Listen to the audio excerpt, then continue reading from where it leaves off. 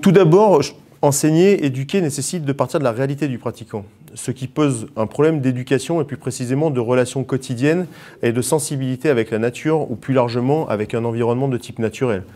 Pour autant, on constate que les activités physiques et sportives de nature jouissent d'une image plutôt positive auprès des personnes, même si la majorité d'entre elles les pratiquent de manière très occasionnelle ou dans un objectif de détente euh, et de bien-être. D'autre part, ces mêmes pratiquants occasionnels identifient des freins à une pratique plus régulière d'activités sportives de nature. Ils sont d'ordre logistique, coût, déplacement, temps, pour sortir des espaces euh, urbains, des espaces de vie, etc. Mais aussi l'accès à des matériels spécifiques. Les freins sont également liés à la sécurité des pratiquants. Les APS de nature sont perçus comme relativement dangereuses et comme nécessitant des compétences techniques spécifiques ou pour résoudre les difficultés liées à l'activité ou à l'environnement dans lequel elles se déroulent. Aussi, on constate que dans la plupart des cas, les parents, conquis ou convaincus de l'intérêt des pratiques sportives de nature, choisissent pour leur enfant un apprentissage dans une structure de type école de pratique, proposant une garantie à la fois dans l'encadrement technique et la sécurité, mais également l'accès à des matériels et à l'apprentissage de savoir, de savoir-faire et de savoir-être spécifiques aux activités sportives de nature. Face à ces enjeux et pour permettre l'accès aux pratiques sportives de nature au plus grand nombre, au sein de l'UFOLEP, nous avons fait un double pari, formalisé dans un projet éducatif particulier. Premièrement, parce que la nature n'est pas spontanément accueillante pour la majorité des jeunes pratiquants. Alors nous souhaitons initier une pratique progressive, rassurante, sécurisante et ludique, en développant des lieux de pratique à proximité des lieux de vie et qui permettent de découvrir progressivement les particularités techniques, physiques, cognitives et émotionnelles de cette famille d'activités sportives. Je tiens à préciser que notre objectif final est bien sûr d'accompagner progressivement le pratiquant vers une pratique en milieu naturel. Deuxièmement, nous faisons le pari qu'il existe un registre de compétences spécifiques, un tronc commun qui peut favoriser l'épanouissement et la progression de l'enfant ou de toute autre personne souhaitant découvrir la multi-activité sportive de nature. L'objectif étant de donner à cet enfant des acquis nécessaires à sa future autonomie et à son épanouissement personnel.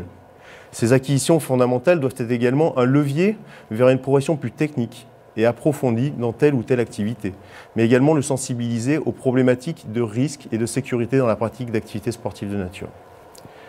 Ce tronc commun s'articule autour de cinq compétences fortes, chacune d'entre elles étant porteuse de nombreuses formes d'apprentissage et de valeurs éducatives.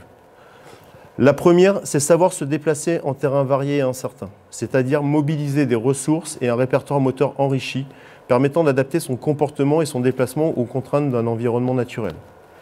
La deuxième, c'est savoir rouler et glisser, particulièrement au travers d'une éducation précoce au vélo, mais également la, la découverte d'activités qui vont modifier et perturber les postures d'équilibre traditionnelles du terrien. Je pense à la patinette, au roller et à toute activité de glisse, le ski, le surf, etc. Le savoir rouler doit également donner des connaissances et des compétences à l'enfant pour favoriser une utilisation du vélo dans ses déplacements quotidiens, et notamment le sensibiliser aux règles et aux dangers de la mobilité urbaine. Le troisième point est le savoir s'orienter, savoir construire et anticiper un déplacement, un itinéraire, partir d'un point de départ vers un point d'arrivée dans un environnement parfois inconnu et à l'aide d'outils particuliers. Cet apprentissage est indispensable dans une démarche éducative vers l'autonomie et la sécurité active. Cette démarche s'appuie bien sûr sur la compréhension d'un environnement particulier, son décodage, la transposition entre un support carte et un terrain de jeu. C'est également un moment privilégié d'éducation à l'environnement et donc à la sensibilisation et à la protection des milieux. Quatrième point, c'est le savoir nager.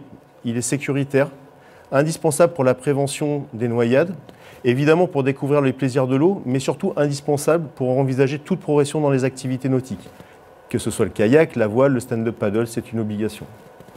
Enfin, en cinquième point, L'UFOLEP est engagé dans une démarche d'éducation citoyenne, notamment au travers de la promotion d'outils tels que la formation au PSC1 ou à apprendre à porter secours.